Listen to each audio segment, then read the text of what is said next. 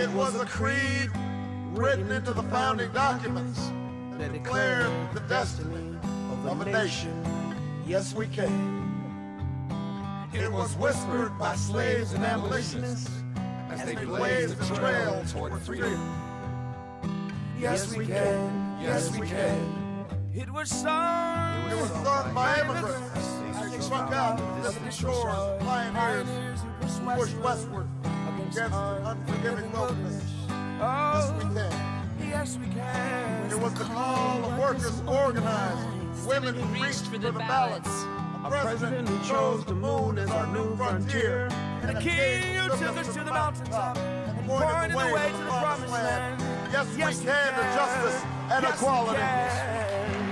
Yes, we can. Yes, we can. Yes, we can. Yes, we can. Yes, we can. Yes, we can. Yes, we Oh, can. Yes, we can. Yes, we can. Yes, we can. Oh,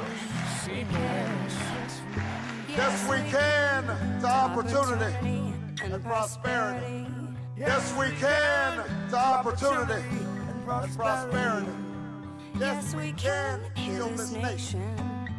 Heal this nation. Yes, we can repair this world. Repair this world. Yes, yes, we can. Yes, we can. Yes, we can. Yes, we can. Yes, we can. Yes, we can. Yes, we can. Yes, we can. Yes, we can. Yes, we can. Sí, se puede. We know the battle ahead will be long always remember that no matter what obstacles stand in our way, nothing can stand in the way of the power of millions of voices calling for change. We want change. We want change. We want change.